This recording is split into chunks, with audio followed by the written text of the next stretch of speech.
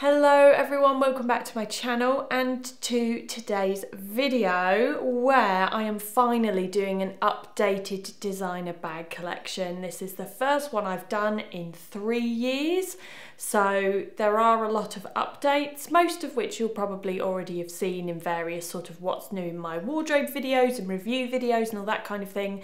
Um, but yes, I decided to do an updated bag collection video purely because I had so many requests for one over the last three years. Now, before I get started, we are, of course, in an economic crisis around the world, not just in the UK. And so, if watching a video that contains luxury goods, high price pointed handbags is going to make you feel in any way negative in your own mind space, please do not watch the video. Um, it's not my intention to make you guys feel glum in any way, shape, or form. Uh, so here is your chance to press stop and to go and watch a funny cat video instead, something that might lift your mood.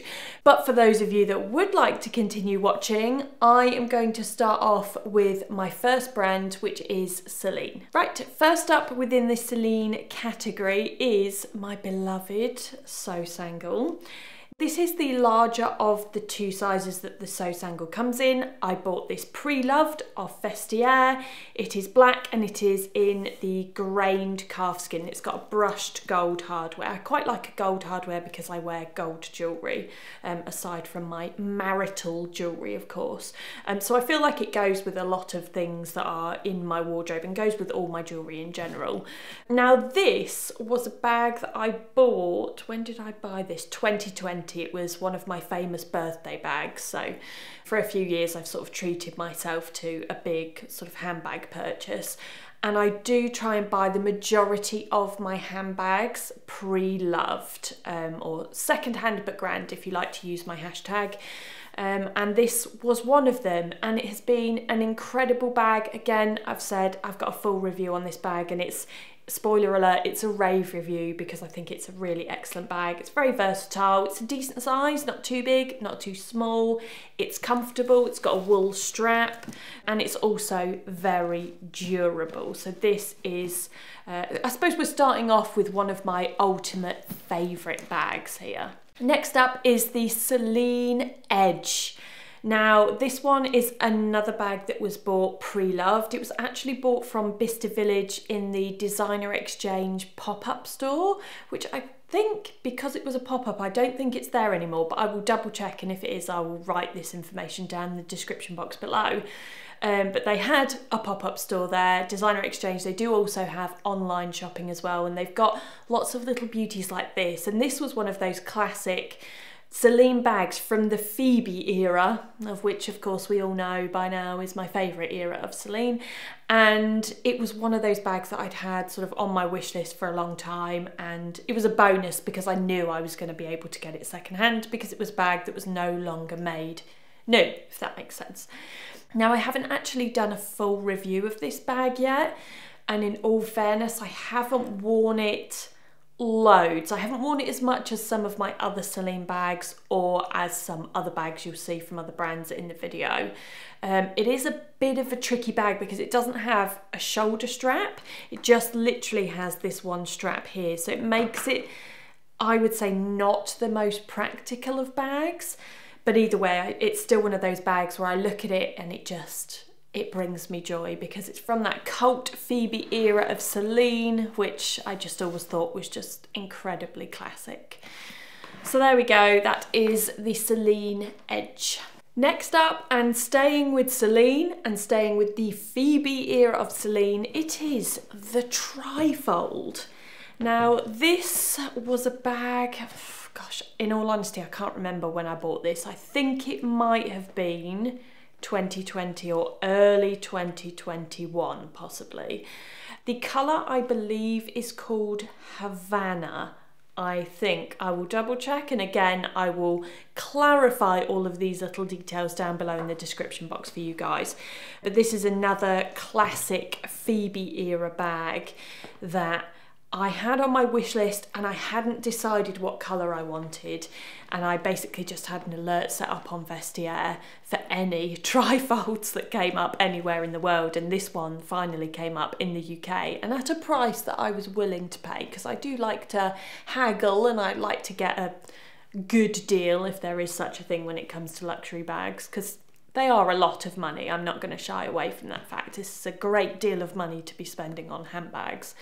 Um, but they're my joy. They're one of my one of my joys.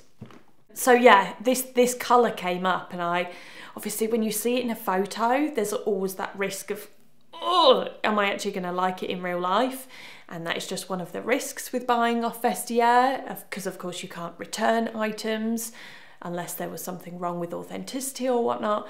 Um, and so it arrived, cut a long story short, and I loved it. I think it's a really great colour and it meshes really well, sort of slots in and looks beautiful with a lot of the black that I have. And I've been wearing black recently. I know I haven't really been sharing a lot of my outfits online so much recently just because we've got a lot of stuff going on but this just it, it, sort of pops when you wear it against black I feel like it's not on this my main camera here it's not really coming out as in, in the sort of rich colour that you can see it in real life but when I wear it with black or even with navy or even grey it just gives this really nice sort of warm pop to it.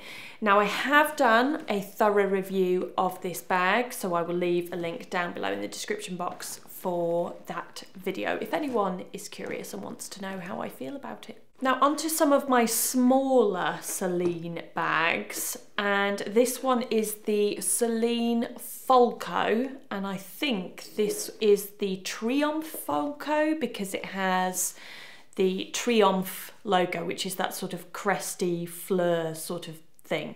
I'm using all sorts of words there. They could very possibly be wrong. But I know it is the Folco and I know it is the Triumph. And it's basically a really tiny little sort of crossbody. It's very practical actually, this bag, even though I don't wear it very much. And the reason for that is because of this sort of monogram. It's very Louis Vuitton-esque and I had a moment where I loved that sort of brown canvas monogram and then I think I got over that. And so even though this is Celine, which is by far my favourite handbag brand, yeah, I don't unfortunately wear this as much as probably what I should do for the price that I paid for it. But I do have very favourite bags that I get a lot more wear out of than others. And I'll go through phases as well of wearing one bag more than another one. And then I might, after filming this video, you might see me wearing this one a lot because I've sort of rediscovered it. And that's, as I mentioned, why I like filming these videos. But it's quite a dinky bag. So it's one of those bags which if I need to carry a lot of stuff around with me, wouldn't be necessarily the one that I would go for. And I think I have admitted in previous videos that I am more of a larger bag kind of girl. I do like to carry a big bag around with me. Now this is my final bag within the Celine category and I actually get asked about this quite regularly, whether it be over on Instagram in DMs or someone might just leave a comment on a random video. And I get asked about if I would buy it again. Now this bag was another bag that I bought pre-loved. I bought this one off eBay actually. I have two videos on this bag. One was uh, an unboxing of it and another is a thorough review. They are a little bit old. I think they're sort of 2018, I think maybe 2018, 2019. But there's a reason that I still have this bag even though it doesn't get as much wear as some of my larger bags. So in a similar way to the Folco. I just love this bag. I waited eight years to be able to buy this bag and for this very specific leather and very specific colour. And of course, because it was very expensive, although I got it at a, a, a lower rate, if you will, because I bought it pre-loved. But this bag brings me so much joy, even if it's just to look at. I do try and wear it every autumn, winter season and perhaps a little bit in spring as well. I don't go for this so much in summer. Don't really know why. Maybe it's because I sort of lean more towards a basket bag or something made of canvas, something a bit more summery. But yeah, this, oh, it just, it just makes me so happy because it's one of those items I think when I was working in retail and you know, I'd look at designer handbags and it was just that for me was like the creme de la creme. In some people's eyes it might be a Birkin, but Birkins and Hermes in general aren't really my sort of cup of tea, but this was always the sort of penultimate bag. Penultimate? That's the wrong word, isn't it? This was just the ultimate bag, not the penultimate, the ultimate bag that I just my heart sings when I look at it and when I wear it. Now, for those of you long term followers, subscribers, whatever we're supposed to call you guys these days, um, you will all recognise Judith, aka my Loewe puzzle bag. This is the size small, the colour, I call it tan, could be brown, I'm sure lots of retailers would call it different things.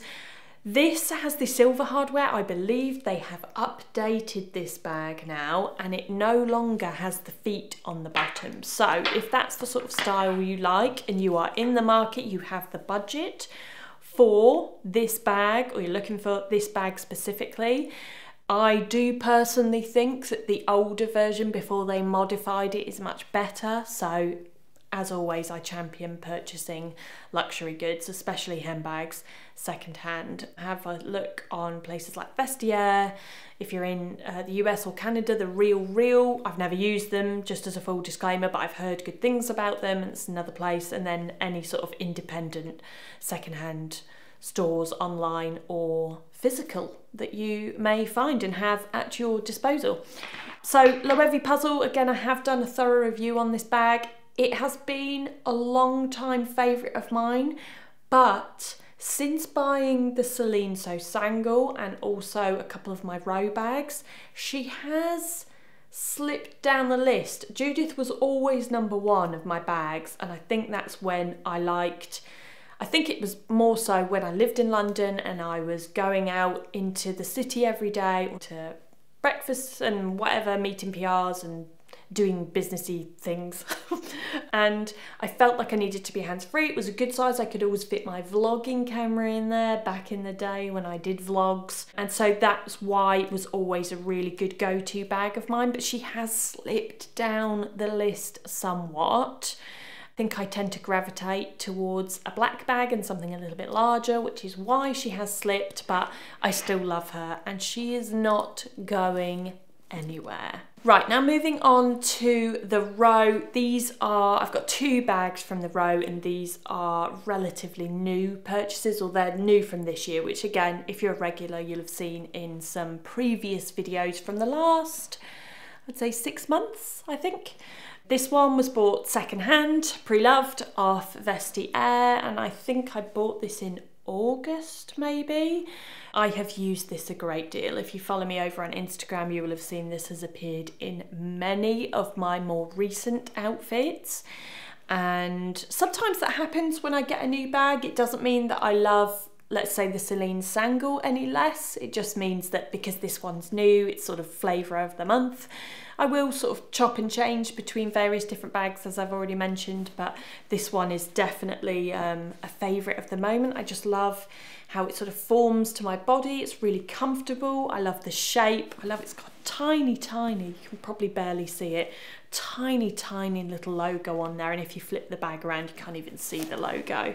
But I just find it very minimal, very visually pleasing, and it's also incredibly practical which is why I've been using that one a lot recently. And my second bag from the Row is the Slouchy Banana, which of course was on my wish list for a good couple of years, two, three years I think I, I said it was. Uh, this one's got silver hardware, so a slight change from my usual gold. I'm not actually sure if this one comes with gold hardware, so I just wanted this bag so much that I was willing to sacrifice my preferred gold hardware. Although you might have seen on my Loewe puzzle on Judith, she also has silver hardware and I think it works. I am not opposed in any way to mixing metals. I don't think there's a, a rule to say that you can't mix metals. Just wear whatever you like. This is a very practical but hands-free bag which again I've been wearing quite a lot recently because I love the way that it sits. And I've had various conversations with some of you sort of privately with regards to bust area and how this bag wouldn't necessarily be practical for many of you with a more ample bosom than I, but I love it. Wearing it over one of my sort of wrap coats, robe coats, is just very much something that I've been reaching for recently. And practicality wise, again, it's a really good textured leather, so it's, it's durable, it doesn't show up scratches or scuffs very much. And it's, despite this sort of very odd shape, it's called a slouchy banana because it's supposed to look a bit like a banana. It does actually fit quite a lot in. So if I have sort of um, canvas bags that we use when we go shopping. I can stuff quite a few of them in here along with wallet, phone keys, lip balm, the usual kind of gubbins. And again, it's got like the Celine Seau Sangle, it's got a wool webbing strap, which is adjustable. So you can also carry it as a shoulder bag if that's sort of what you wanted to carry as as opposed to crossbody but I personally prefer crossbody. Okay moving on to my next brand now which is Joseph and yes I have two of the exact same bag. It is the XXL slouch bag I think that is its name. I could be wrong. Now this one I bought new but I bought it in the sale a few years ago now. This one I bought pre-loved last year because I liked this one so much. And I know there'll be lots of you looking at them thinking they are almost identical, but they are identical in terms of it is the exact same bag. But let me assure you, grey is very different to neutral beige. They bring two very different vibes, in my opinion anyway, to an outfit. Now in terms of like the design of the bag, it is an it's a very oversized bag. It's got a really big strap, but it is made out of really sort of supple leather, very much sort of bonds to the body, shapes to the body. I do have stuffing in this one, but it is a little bit, it's looking a little bit slouchy, but that's okay because it is the XL slouch bag. And I just, I love these. It's a, it's a really good sort of just stuff everything in there kind of bag. Really good travel bag and then a really good bag for carrying around a lot of snacks. So not particularly practical if you sort of have a day where, I don't know, if you were doing something like going to a theme park and you needed something a little bit smaller, um, but a good sort of everyday bag if you carry a lot of stuff around with you, which is why I have two. Right, this is a bag that none of you will have seen yet because I have just acquired this bag in recent weeks. So I haven't actually, I think today's actually the first time I sort of took it out of the dust bag since it arrived. We've got a big project going on in the house at the moment, so I've tried to keep everything in dust bags and doors closed. And so yes, it hasn't hasn't actually been worn yet, but this is the Tod's Di Bag very, very, very generously um, gifted to me from Tod's directly, which was really exciting because I haven't had a, a lot of dealings with like really big, these big designer brands. But for any uh, of the bags that have been gifted or I've perhaps had like a little gift card to put towards bag, I will leave all of that very, very clearly displayed down for each bag in the description box just so that you are all aware of what has been gifted and purchased and I'll also pop in there again just a little reminder of what was secondhand. So yes, this is the Tod's Di Bag. I believe this is the medium size and the colour technically, although I would call this tan, is called brown on the website or in store.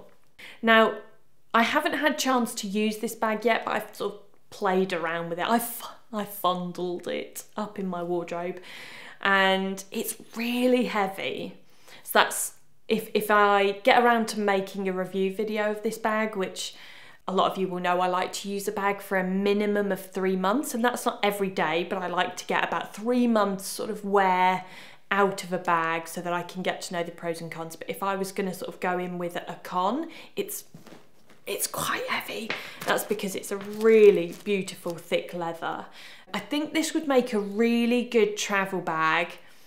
However, I will of course have to use it as a travel bag to confirm that hypothesis because of that weight situation in there. But it's it's beautifully made. I mean, Tod's is one of those really old school brands.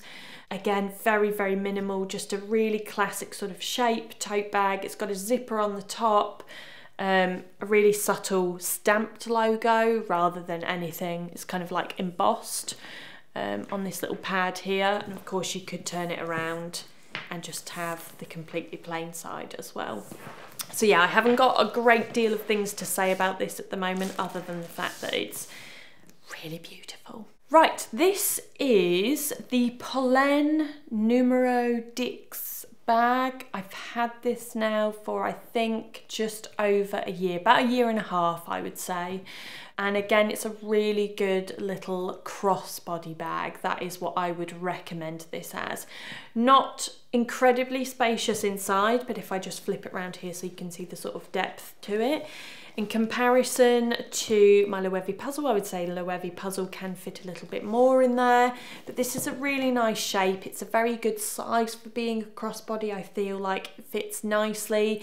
You can adjust it so that it fits more like the slouchy banana. So the sort of half moon shape sits sort of nestled in between your boobs.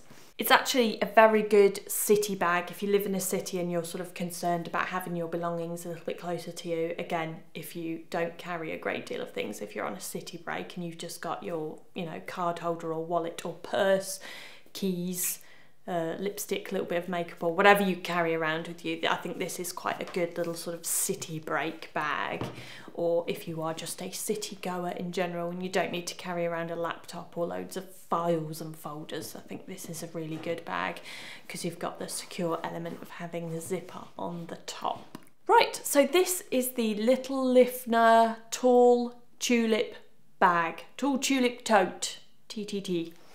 This is the sort of taller stretched out version of the famous tulip bag from Little Liffner which they have in lots of different sizes uh, but the tote version is the one that has the longer straps which is why I prefer this to the other ones. I don't own any of the other ones but for me if something if a bag can't fit on the shoulder it can be a little bit of a turn off which as I was saying about the Celine Edge it's a little bit tricky because then you've only got the option, especially if it doesn't have a shoulder strap, you've only got the option of holding it by the hand or like on the crook of the arm, which can be a little bit sort of tiring.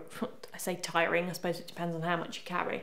So this, I think, is much more practical. I actually wear this a lot more in summer. I couldn't tell you why. I think it's just one of those colours which goes really well with a lot of my summer linens. But yeah, it's a, it's a good little bag. It's got no safety on the top, so no like zipper or sort of pouch inside. It's just got this little popper which keeps it closed. So not the most secure bag, but I've never had any issues with it and I've taken this out and about around London before we moved. I just love the shape. Again, it's really minimal. It is a smooth leather, so this is one of the very few smooth leather bags that I have. But so far, and I have used this quite a few times, even though I haven't um, really done any outfit photos with it recently. We have done a few, but not recently. But I have used it quite a bit and taken it out and more than likely bashed it around a little bit and it's holding up quite well. So yeah, this is quite a good smooth leather. But for me, this one, the sort of selling point was the colour because it's just, I'd say it's sort of a khaki colour, which is just really beautiful. And again, if you're wearing black, I love that sort of contrast of wearing black and then a lighter colour accessory. And this just looks absolutely beautiful against black. Right, now on to my penultimate, and that is the right use of the word, finally. My penultimate handbag brand, Chanel. Now, both of these are vintage Chanel and they were both from Zoops. This one, some of you might remember, we made a video on actually the process of buying this off Vestiaire and then I have a full review on this one as well. But this one came direct from Zoops. So this was just from Zoops and this was from Zoops on Vestiaire. So Zoops also sell on Vestiaire. I know it's a little bit, but you get the gist.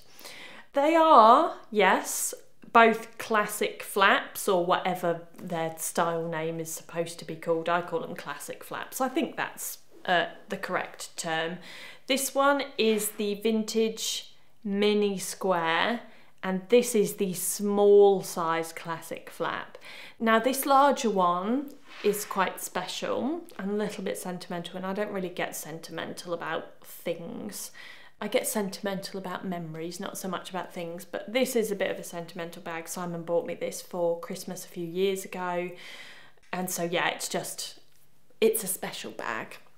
And again, as I mentioned, we did make a video on actually finding this bag on Vestiaire and the whole purchase process, and I've also done a review on this one.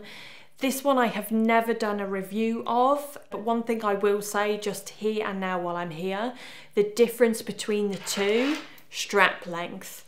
This little classic, classic flap, although I've got the straps doubled up at the moment as a little handbag, um, when you put them, I could do it now actually, couldn't I? When you put it as a full length strap like that versus this one, there is I know I've kind of gone off screen a little bit there, but you do get extra strap with this mini square. So the issue that I have with this one is that it's very difficult to crossbody. So this tends to be more of a dressier, sometimes maybe an evening or an occasion bag. I think I've taken this to a couple of weddings that we've been to, whereas this one, as fancy as it is, I do feel like I can use as more of an everyday bag because it has that extra length on the strap for crossbodying. And finally, my last bag, it is the Ava bag size large by Wandler. Uh, this was another second-hand purchase. I bought this, I think it was 20 2020. It's either 2020 or early 2021. I think it was 2020. And actually, this is also another smooth leather bag as well, which is again a little bit surprising for me. And another black bag, which I know there is. How many have I got? There is a little bit of an abundance of black bags but it's my go-to color it's something that i just i enjoy i know some people think it's either boring or depressing but I, I like it and I think we should all spend our money on the things that we like and not what other people like.